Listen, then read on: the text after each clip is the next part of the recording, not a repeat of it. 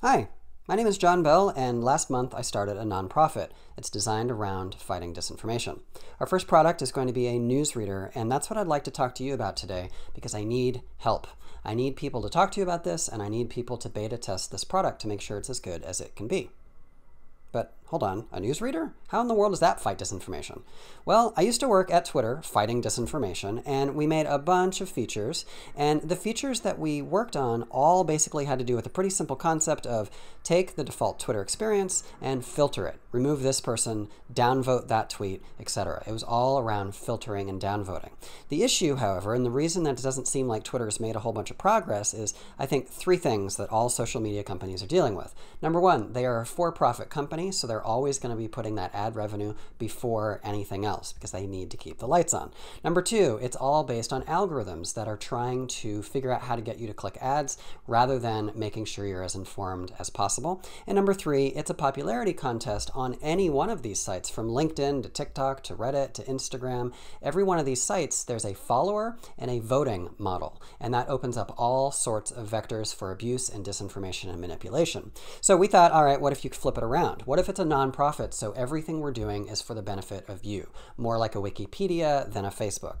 And number two, instead of algorithms, what if you could customize that algorithm and see exactly what's happening so there's no black box at all? And then finally, instead of having a follower and voting model, what if there's that's just done away with and you're just left with a great newsreader? Imagine being able to go to Facebook and say, hey, Facebook, on your timeline, I don't want to see so much anger or politics. Imagine being able to go to Reddit and say, hey, I just don't want to see clickbait anymore. If you know it's clickbait, just don't show it to me. What if you could go to Twitter and say, can you please optimize for optimism and New Zealand news? And let's say it would go off and do that. Well, it doesn't do those things today. And so here's our idea. If you've ever used RSS, you know, step one would just basically be like RSS. Bring in various news sources, and then it just aggregates it into a list of links. Very simple. Then you go into the system and you just say, hey, I want to see less of this, more of that, and I want you to block these things outright. Then the following thing happens. That list that you start with uh, starts uh, sort of upvoting certain things that you say you want more of, blocking things that you said you didn't want to see at all, and then downranking things that you said you wanted to see less.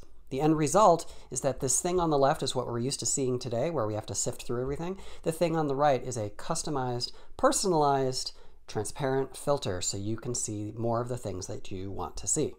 So that's what we're working on, and that's where you come in. If you think this is interesting, if you'd like to chat with me about this, this is the point in our development where we would love to hear more people's ideas and also get some beta testers. Thanks very much. If you'd like to learn more, please go to arbiter.space.